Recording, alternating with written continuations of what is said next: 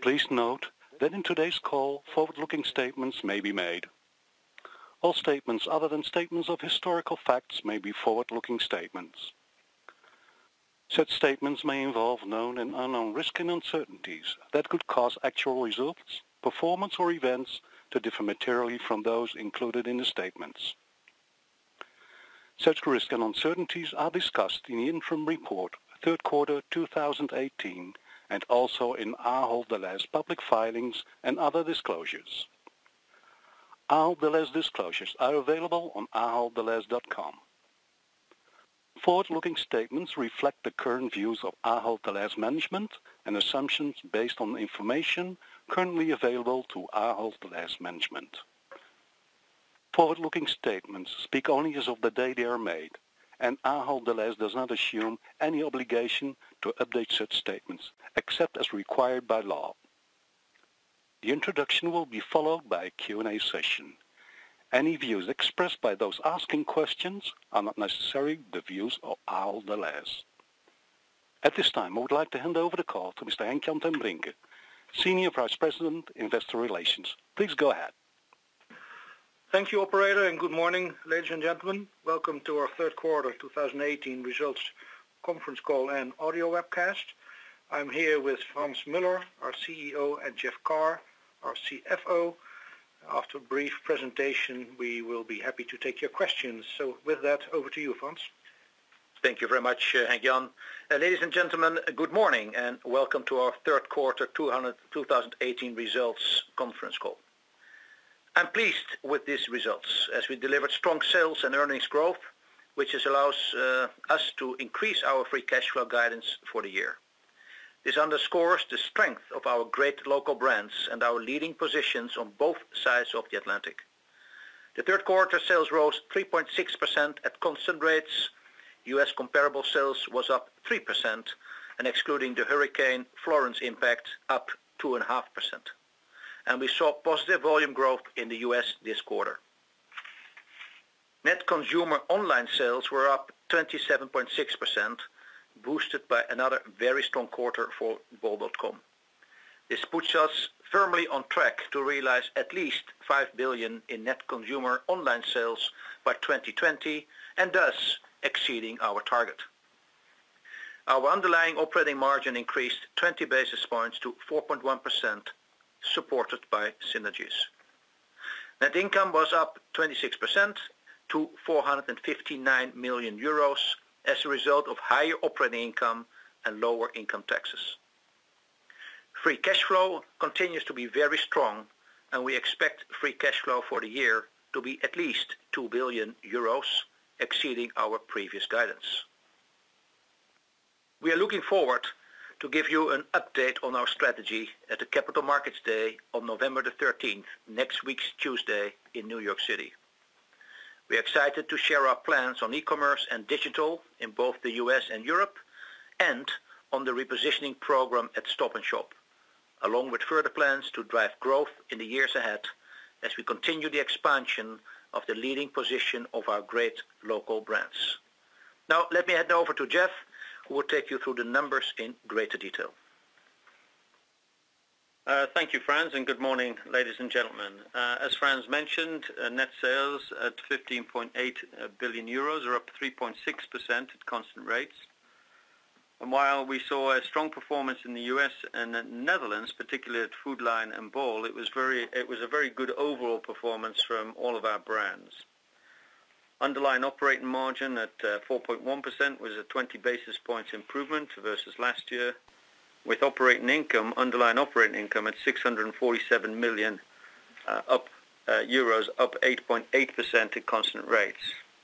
And as Frans mentioned, uh, lower merger-related costs and lower taxes resulted in impressive growth in net income.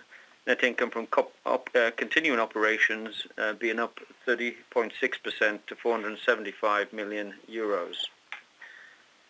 In the U.S., we saw a strong top-line performance with volume growth. And while Food Lion was, as I mentioned, particularly impressive as we continue to roll out the Easy Fresh affordable format, we also saw positive trends across all our U.S. brands. Total net sales grew 3.2% to 9.6 billion euros, and comparable sales were at 3.0%. As we've mentioned in the quarter, the Carolinas were impacted by Hurricane Florence, and I'd like to add my thanks to the hard work of our associates who responded fantastically to ensure that as many of our stores as possible remained available during the crisis to serve our customers. The impact from the hurricane was estimated at a positive 0.5 percentage points on the comparable sales for the segment. So adjusted, comparable sales would have been 2.5%, representing a strong improvement in the trend from Q2. The margin impact of the hurricane was fairly neutral, uh, since the extra benefit from the sales was offset by a $10 million one-time cost, which was included in underlying operating income. Underlying operating income therefore grew in the U.S. by 8.8% to 395 million euros, and margins were up 20 basis points to 4.1%.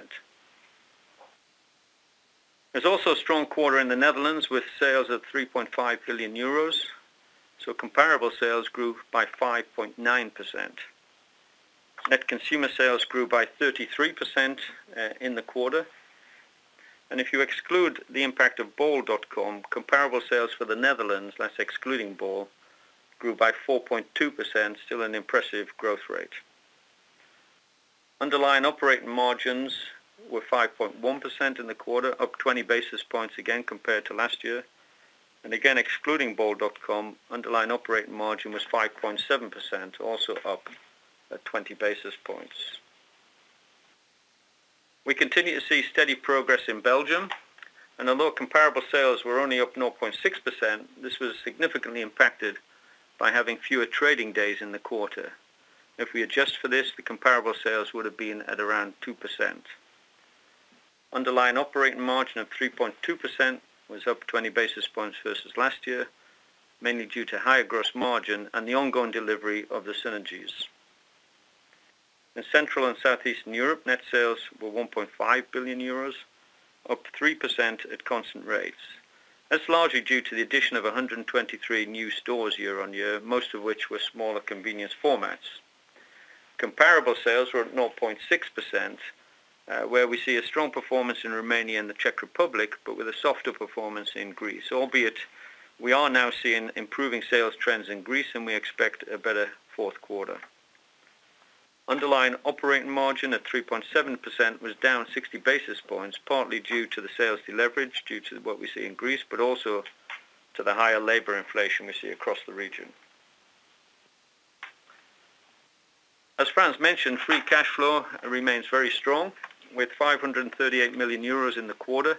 That's 26% ahead of last year. And year to date, our free cash flow now stands at 1.7 billion euros, 64% higher than last year. We announced today that free cash flow for the full year would be at least 2 billion euros in 2018. That's ahead of our previous guidance of 1.9 billion. The improvement in free cash flow is being driven not only by the improved operating cash flow, but by continued strong working capital performance and the fact that we now expect capital expenditure to be slightly lower for the full year at 1.8 billion. Now, finally, as I wrap up, uh, we remain on track to deliver 420 million euros of net synergies by the end of 2018, with 113 million euros in the third quarter, an increase of 45 million versus last year. And one-time merger-related costs remain within the original targets of 380 million and 70 million, respectively. Now, let me uh, hand back to Frans. Thank you very much. Thank you, Jeff. Um, on slide 13, um, as part of our strategy, we continue to invest in our store network, inspiring customers with new store formats. And let me give you uh, just a few recent examples.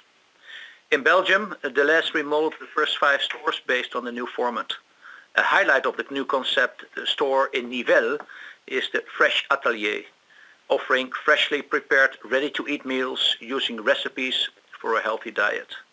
In the Czech Republic, Albert has created a new concept for urban supermarkets, featuring fresh, healthy foods and a fast and easy shopping experience with many products from local suppliers. In the U.S., Stop & Shop remodeled all its stores in the Hartford area, 20 of them, as the first phase of its repositioning program, delivering more fresh, fast, local, and healthy options. And we will tell you more about this next week on Tuesday.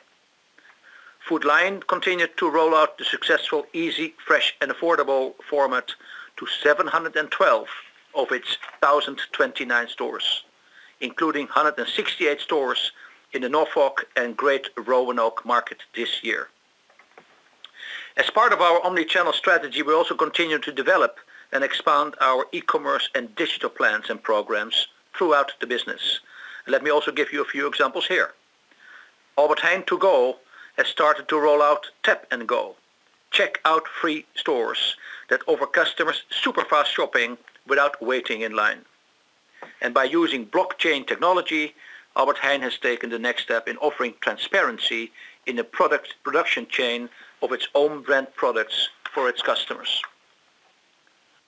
Food Lion introduced the Food Lion To Go grocery pickup service in North Carolina and Virginia, allowing customers to order and pick up their groceries in as little as one hour.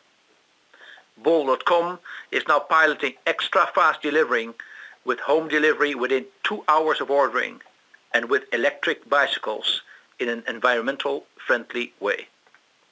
On page 15, you see, um, before we start the Q&A session, let me briefly wrap up. We had a successful quarter with sales growth across the board and strong growth of underlying operating income and net income. Based on our strong cash generation, we expect free cash flow for 2018 to be at least 2 billion euros, exceeding our previous guidance of 1.9 billion. As I said in the beginning, we are looking forward to providing an update on our strategy at the Capital Markets Day on November the 13th, next week, Tuesday, in New York City. So let me hand back to the operator and to start the Q&A session. Ladies and gentlemen, to be registered for the question and answer queue, please press star one. To remove a question, please press star two. When asking your questions, be aware that everyone on the call can hear background noise, so please keep this to a minimum. If possible, don't call hands-free or use the speaker. In order to allow enough air time for all participants, we would like you to limit the number of questions to three. Please stand by for a moment as we wait for participants to register for the queue. Thank you.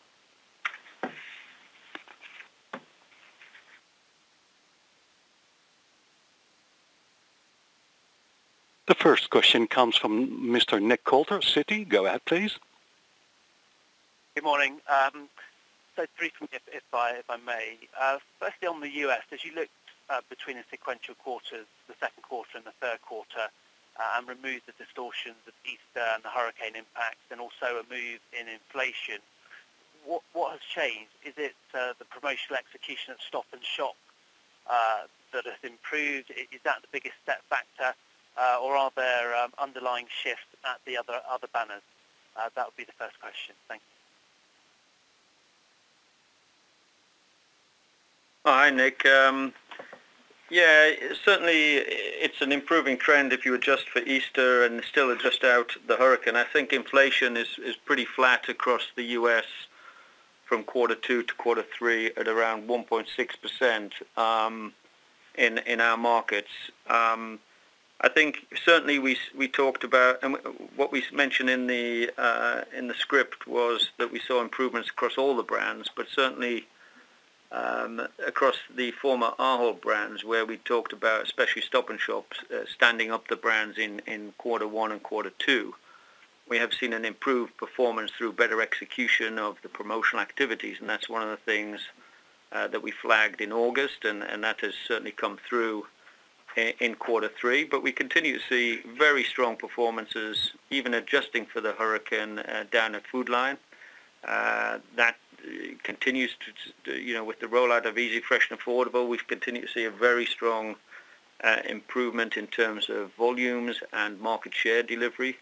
And again, at Hannaford in the north, um, we see very good performance. So I'd say across all of the brands, um, particularly at the AUSA brands, which is more operational improvement in terms of better execution, promotional activity as we stood up the brands. but we do see an improvement in the overall trends also at Food Lion and uh, Hannaford. So I don't think um, it's really uh, inflation driven since inflation is pretty flat. Uh, but we are seeing underlying strong volume growth, and, that's very pleasing in the third quarter. It's across the board, but Stop and Shop is probably the biggest step change within within the mix. Um, I, I don't know if it's the biggest. It, it, it's certainly. Um, I think the delta between Q2 uh, and Q3 is is is a bit stronger at Stop and Shop for sure. Um, but we did see, as I said, a, an improvement across the board. And although we're not proud of the 12% in, in online necessarily, we've got a lot more to do, and we'll talk about that at the Capital Markets Day. You know, it was also positive to see uh, online performing a little better, which uh, again we'll talk about more uh, at the Capital Markets Day. So it really was across the board we saw improvements. Great, thank you. And on online, just on the new automated wear rooms for Stop Shop, and, without stealing next week's thunder, so I'm sure you'll, cover it in greater detail, but for those new automated wear rooms, how many lines can they stock and will they be used to pick fresh and chilled? Yeah, uh, Nick, uh, Frans here. I think we uh, talk about this uh, next week, Tuesday at the CMD, where we uh, both highlight uh, all kind of fulfillment options and technology for our European markets, and especially also the, strong experience and learnings at Bol and at aha.nl. And at the same time, we also will give you a good preview of how we would like to operate our business in the U.S. And I think one key word is we we see um, our retail business with the great local brands as local brands uh, close to customers, and that's why you also will see uh, the partner choice we're going to make.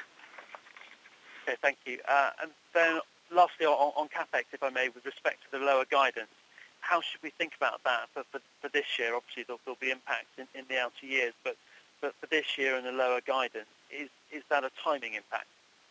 Yeah, it is just timing, uh, Nick. I mean, you know, you make estimates at the beginning of the year, but there's a lot of regu- regulatory hurdles you have to get through to open up the number of stores that you'd like, and uh, we still have a lot of openings due in Q4. Uh, so we have a lot of spend, a real step up in spend in, in the fourth quarter.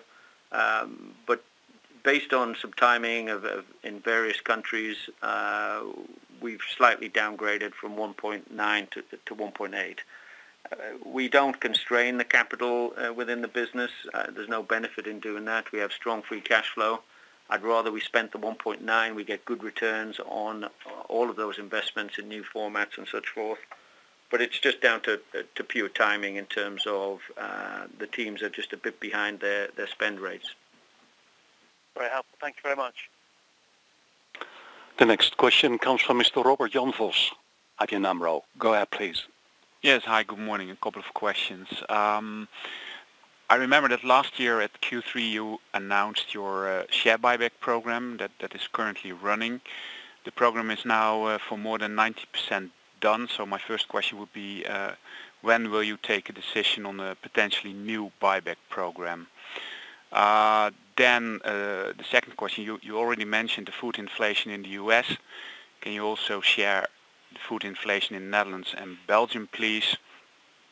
And um, yeah, maybe also on the capex. Um, you explained it's a timing issue for this year. But for the midterm, uh, do you still believe that the current CapEx as percentage of sales of around 3% uh, is is a run rate and sufficient? Um, and lastly, Netherlands, 4.2% excluding Bol. I assume you increased your market share in the Netherlands in the quarter. Can you can you say something on that, please? Thank you. Yep. Um, Robert Jan, a few things. On the buyback, we will be very explicit on our financial structure and plans next week at the CMD.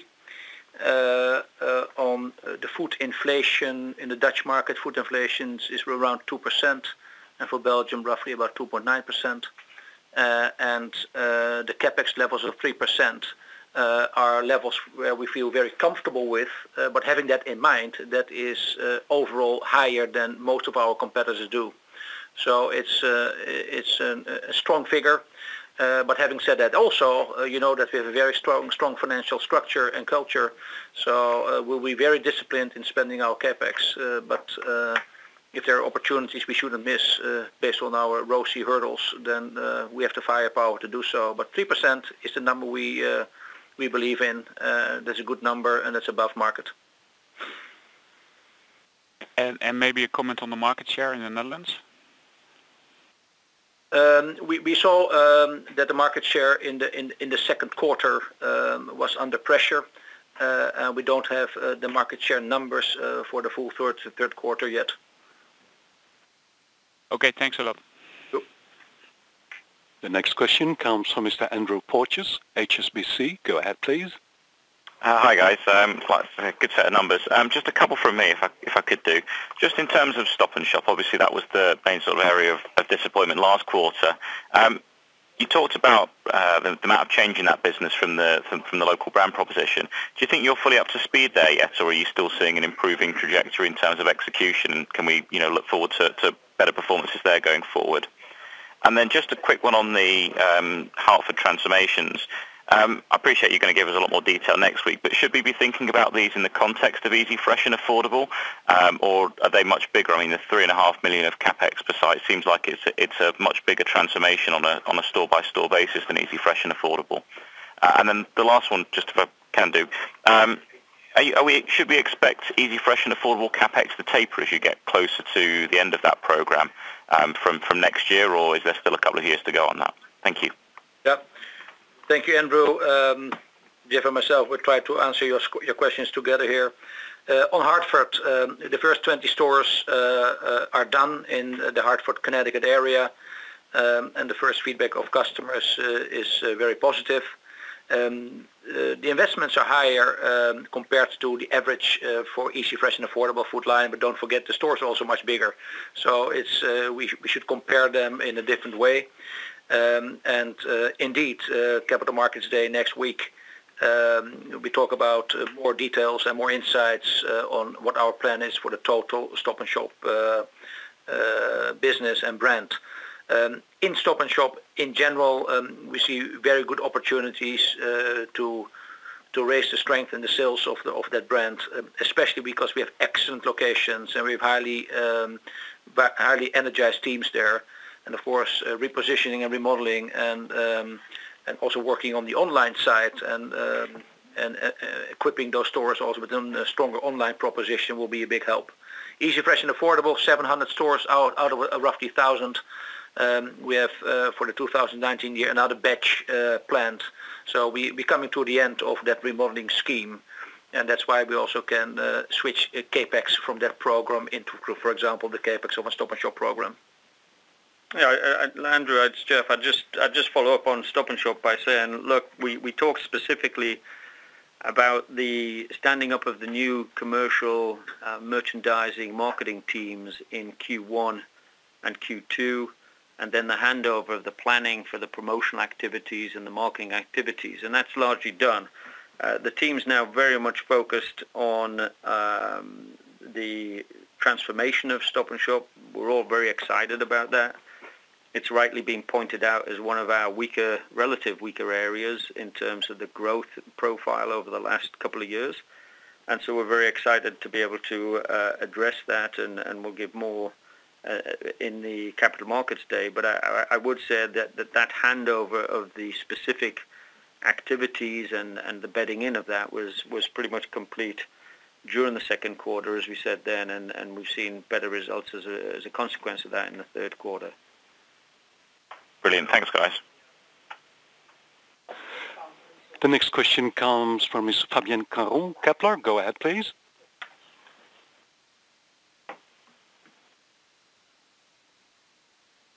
Indeed, it looks as if your own stores uh, continue to underperform uh, compared to the- Fabienne, uh, Fabienne, we, I think we missed the first beginning of your question. Could oh, okay. Sorry, sorry. Yeah. So, so first on Belgium, looking at the appendix, we see that the um, own stores continue to underperform the franchisee. Could you comment on that?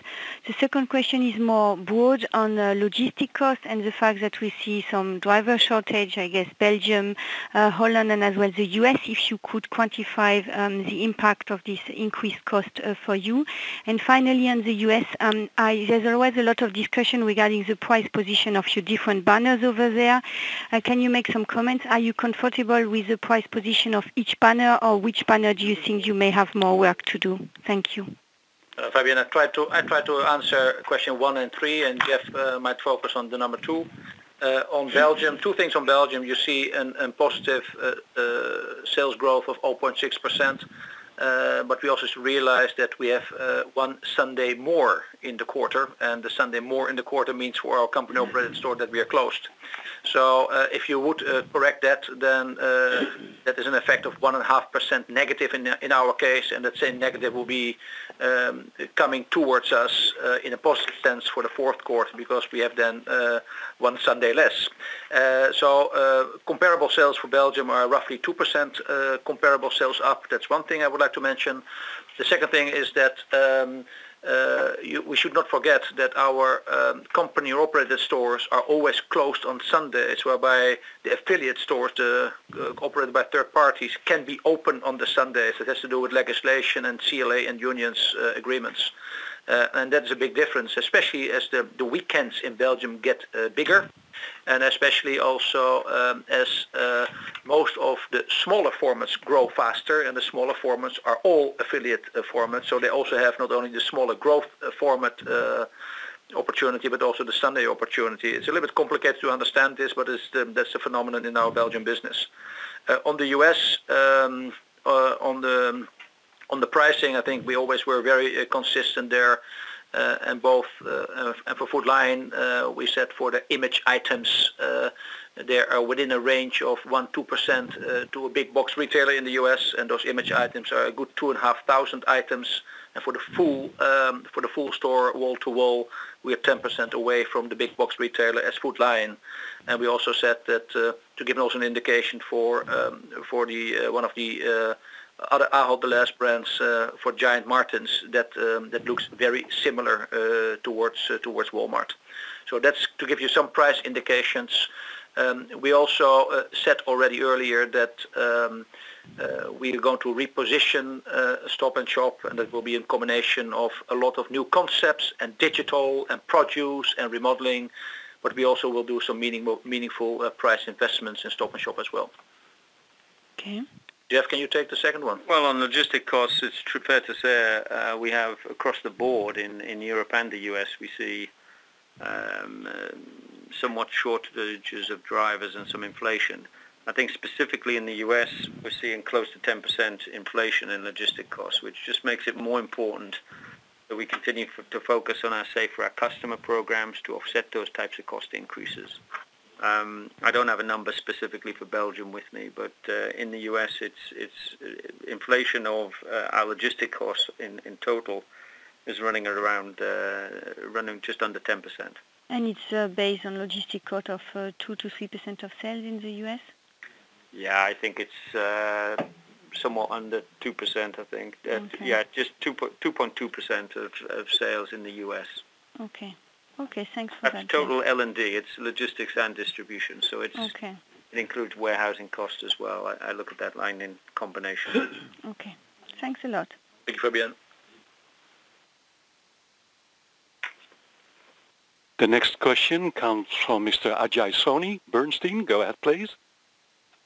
Hi there. Um, is there any information you could provide on uh, the market share? Um, so in the second quarter, you mentioned all the bands in the US were either flat or up. Um, has this changed in quarter three? Uh, and just the second one, um, removing the hurricane impact for this quarter, um, is this comparable sales level likely to continue in the US? Thank you. Uh, I think I think Jeff, you already mentioned the, the hurricane effect, uh, the 50 basis points for the US. So a 3% comp sales for the total US. To say, uh, taking the hurricane uh, uplift in sales out for the Food Lion brand, it's a 2.5% comp sales for the US. Yeah, and I, think the way we measure market share, we try to get the most uh, inclusive number, including uh, drug, dollar stores, club stores. But looking at it that way, it comes in uh, pretty much a quarter late. But what I'd say is that um, this type of improvement, we could expect to see an improvement reflected in market share. I don't see a big change in the overall market growth rates. So I've, I've, got, and we'll talk a little bit more about market share next week, uh, specifically in reference to the U.S. Uh, brands. But I'm confident we continue to see uh, a positive trend in terms of market share as well um, in, in terms of the U.S. And, and for the fourth quarter, you know, we've seen five weeks or so of the fourth quarter. I've, I've no reason to, to, to be concerned that we don't see the positive trend continuing into the fourth quarter or, or certainly maintaining the, the sort of levels that we're looking at at the moment. Okay, thanks. The next question comes from Mr. Andrew Gwynn, Exane. Go ahead, please. Uh, most of my questions have been covered off, but uh, two quick ones, if I can. So firstly, on the tax rate, um, pretty low this quarter, um, presumably still sticking to that low 20s guidance, but wondering if you could be a bit more specific as we've got a little bit more uh, further into the year. Uh, and then finally, um, just on the synergies number, obviously no change for this year, but obviously as you sort of think about other projects, and you mentioned logistics, for instance, I mean, the two businesses are essentially uh, not integrated from a logistics point of view in the US. Um, is there a possibility that we get an extra logistics program, uh, extra synergy number, sorry? Um, let me pick that up on the, on the tax rate. It was low in the quarter, and you know from time to time we get one-time uh, benefits of uh, various adjustments to um, provisions and such forth. Uh, we did in this quarter, excluding that, it would have, the rate this quarter would have been 20, just over 20%. Um, and I expect that, you know, we'll, you know, we'll be around the 20% for the full year, taking into account some of the one-time, small one-time benefits we've had this year, but around 20%. It might just be slightly under 20% uh, for the full year. So clearly that's a significant uh benefit. Um, let me also follow up on, on the, logistics. I, I, think you're right to highlight that the synergies included um, some of the areas that we were focused on and we addressed in the first two years of the merger, but there are clearly significant other areas of cost improvement and efficiency improvement that we'll continue to, to go after very strongly. We may call them Save for Our Customer instead of synergies. Um, and certainly if they fall outside of the calendar, which is the end of the uh, first half of 2019, then they'll be termed save for our customer. But we still see significant opportunities, and we'll talk more about save for our customer targets uh, next week as well. Uh, but clearly, uh, you know, we're still optimistic. There's a lot of improvement in efficiency, bringing these two great businesses together and also learning best practice from each other. And uh, there's still more that can be done. And uh, again, we'll talk about that next week. Uh, I would fully echo what, what Jeff is saying. I think in the synergy period, we uh, got a lot of uh, teams energized and trained about that potential, which will have a different definition name, say, for our customers uh, than we had under the name synergies. But the teams are working very closely together. A lot of things are shared. So I think that sharing will go on and that potential will still see that's why we also uh, see a, a quite a big potential also for the future in, in saving money to uh, to look for more funding. And, and, and Frans, earlier you mentioned um, substantial uh, or a fairly meaningful move in prices at Stop and Shop. Do you think that there's enough uh, oxygen, as it were, within the Safer Our Shopper program to fund that, or might we think about maybe some margin pressure going forward? Uh, I think it's, an, it's, it's a combination of uh, we have we have pricing, but we also have loyalty systems and promotions and couponing. We have an, uh, you will see in, in the Hartford area, if you, if you take the visit there, uh, we have a very strong fresh produce new proposition, which will create a lot of traffic.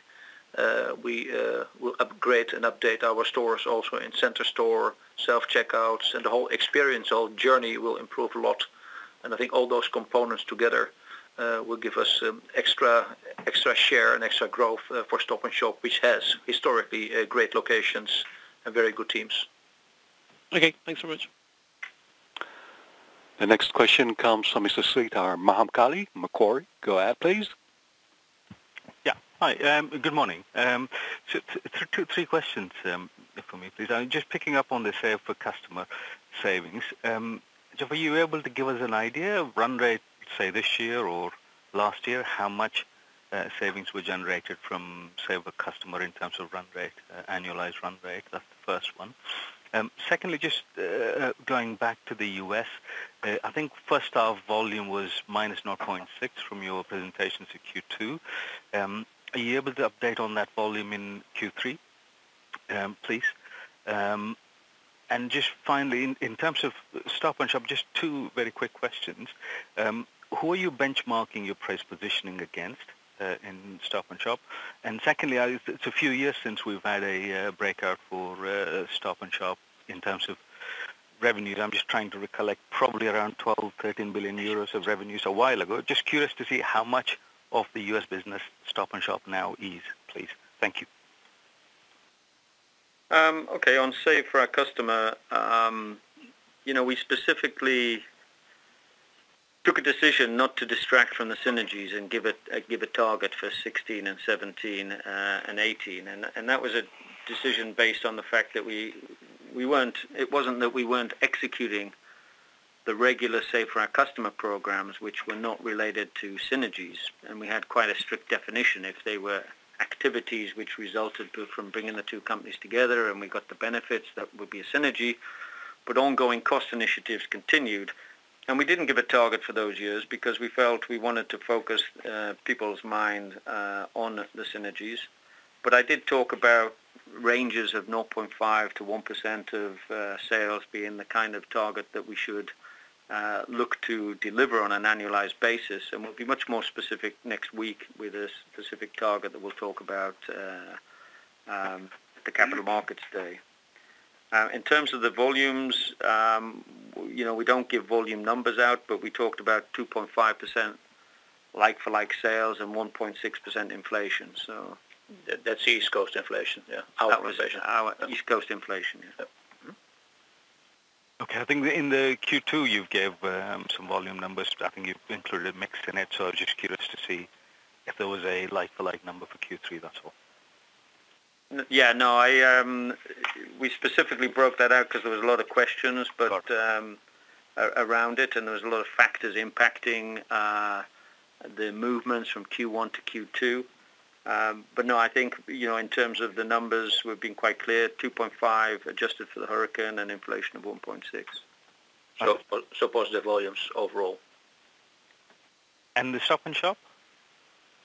Um, the question was the size of Stop & Shop or? Yeah, and also who you're benchmarking the pricing against, uh, because you've referred to some pricing measures. I think on Stop & Shop, you know that mark in that market, the discounters account for less than 5% uh, of market share. You know, Walmart, for example, for the last 25 years, has has not been very successful coming into the New York, Connecticut, uh, Massachusetts market. They're now opening new stores in that market. Um, and therefore, their market share and the market share of Aldi and Lidl remains very, very low. So we tend to benchmark against the other key supermarket players and the price leaders. You know, in the Massachusetts market, you look at someone like Market Basket, but it varies from region to region. And then you look at, for example, a ShopRite in New York. But again, if you go onto Long Island or somewhere uh, into different regions, we have different pricing zones.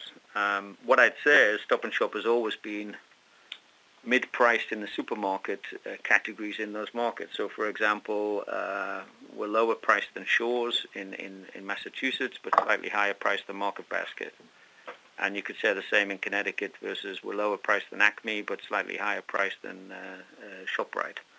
And and that's the way we look at it, and it's done in a local market uh, pricing zone by pricing zone. And there's I don't know how many pricing zones we have at Stop & Shop, but it's quite a few. And the relative uh, contribution of Stop & Shop to U.S. revenues? Um, I think it's um, it's probably uh, around of the U.S. Um, 23% or something like that? Yeah, just less than 20. Between 20 and 25% of the U.S. revenues. the biggest brand we have in the U.S. The biggest brand. It's uh, Food Lion's the second biggest in terms of sales. Thank you very much. The next question comes from Mr. Dusan Milosavljevic. Berenberg, go ahead, please. Um, good morning. Uh, just uh, three questions from me, really. One of the the first one is about the insurance gains. Um, these are now kind of two to three percent of our EBIT. So I was just wondering how we should think about modeling this for next year going forward. Um, they have been an incremental tailwind, I guess, this year relative to the previous year. Um, the second the second question is just in respect to the um, um, commentary in the in the in the, in the press release you, you've given you published in the beginning of, of, of October. Um, you've given three areas of investments that are going to be coming in this new refurb. So one of them is the capex investments of about 3 million, and then we've also been talking about, uh, um, uh, sorry, the capex investments of about 3 million per store. Uh, the other ones are investment in headcount and investment in in prices. So I guess the message at the moment is that all of this can be offset through the existing cost savings program, and as Food Lion, um, Food Lion capex drops down. Yeah, Dusan, to that question, uh, you're happily invited to our Capital Markets Day next week, where we'll be uh, very uh, clear and explicit about the Stop and Shop program, which components, how we look for funding for the total company, and how are we going to potentially offset present investments, easy, fresh, affordable, into Stop and Shop to have a good CapEx number overall for the company. Yeah, it's, but it's not a, again, Dusan, it's not a surprise that we've said you know, that the around 3% of, of sales capex is higher than our peer group. It's we're investing more than our peer group, and we will uh, not have to increase this significantly we'll, in order to do the Stop and Shop work. So we've said that in the past, and we continue to say that. On insurance, um, but obviously we'll break out a lot more next week. On insurance, you're right. The, the, the key driver of that, you know, is the um, uh, the discount rate. And as the discount rates go up, um, we do see a benefit coming through from a, uh, from a, the lower discounting of the insurance provision. This quarter, that amounted year on year to about 6 million uh, euros. So we've got a small benefit this quarter, and I think we've continued to see discount rates trend up, uh, and we'll expect to see a similar, I, would expect to see another slight favorable uh, number in the fourth quarter.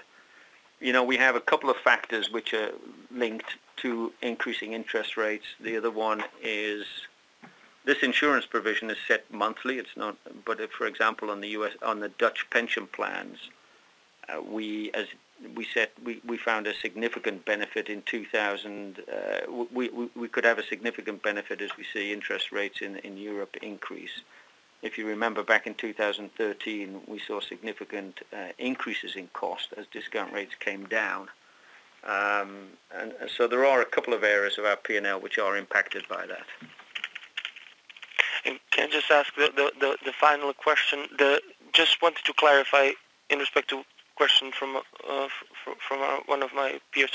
The plus 1.6% number that you just mentioned, that's East Coast inflation for the market, or is that your shelf inflation in line with the 1.6% that you reported in Q2? That's uh, food at home CPI inflation, which is um, uh, close to what we reported uh, as 1.6% last quarter, and we haven't significantly changed. So it's a good proxy for our own inflation. Okay, thank you. The next question comes from Mr. Dan Eckstein, UBS. Go ahead, please. Thank you. Good morning, um, everyone. Um, a couple of questions from me. Um, first one is on um, wage inflation in the U.S. Um, Target has committed to $15 per hour, and Amazon recently um, committed to $15 as well. Could you tell me how that compares to your average hourly rate? um, and whether you would see sort of convergence towards those peers over the next couple of years. Um, And then the second question is really on, margins in, the US. You've obviously delivered strong sales growth in the quarter. Um, on top of that, you know, you're benefiting from, um, uh, I guess, quite significant savings. I think you said there are about 100 million this year from the retail business services um, implementation. But if you, if you X out the synergy gains, then underlying margins are still down year over year. Um, so what, what's the kind of the missing part of the equation there? Is it is it cost inflation? Is there something to do with the, the mix of sales? I wonder if you could just give a bit more color there. Thank you. Shall I take the wage inflation, Jeff, and you the synergy piece? Is it okay? Mm-hmm. Yeah. On the wage inflation, um, uh, we see, of course, the, the minimum wages set on federal, on state, and sometimes on municipality level. And we, of course, completely uh, com- uh, compliant with the legislation. Apart from legislation, we have our own ambition to make sure that we uh, pay according to market levels, and, that what, and that's what we do already uh, 130 to 150 years. Um, state by state is very different. Uh, the $15 Amazon, we should also see this in perspective because uh, it's not only wages, but it's also benefits and other things which are for our associates very important.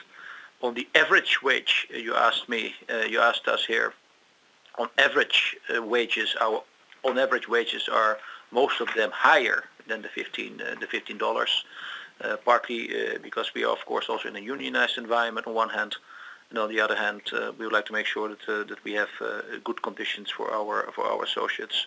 So we don't we do not see extra pressure coming out of this at the moment, and that's what we also check on a regular basis through our engagement levels with our people. And um, happily so, it's not only wages and benefits in the company, it's also uh, the working environment uh, and the level of inclusion. So um, that is a little bit on wages and wage inflation. So uh, convergence, um, I think, is not necessary because we are on a daily basis uh, with those competitors in the market, also from an um, uh, employer reputation uh, as well, and we, we, we think that we can compete very nicely.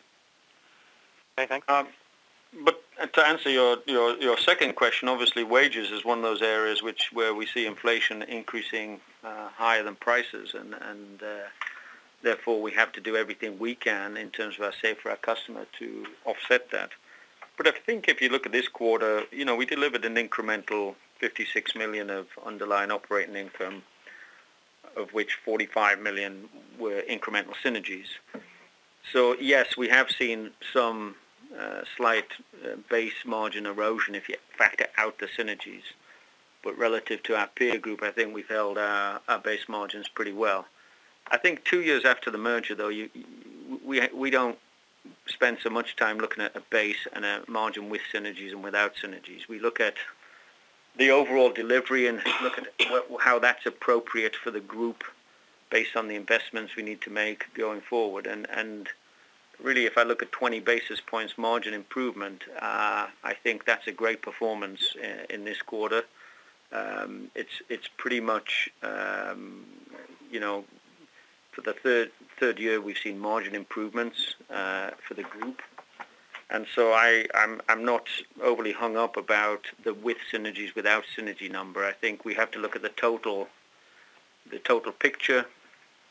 I, for example, saw some comparatives in, in one of the analysts' report about the synergy levels that, that we're generating and comparing it to other retail mergers, but we've actually shown some of those synergies showing real margin improvement, which again, it's easy to talk about synergies, but not actually drop the synergies to the bottom line, and, and we've been doing that. So I'm, I'm very proud of the 20 basis points margin improvement, and certainly two over two years now, nearly two and a half years after the merger, I think we have to start just looking at the absolute numbers and not thinking so much about with synergies and without synergies.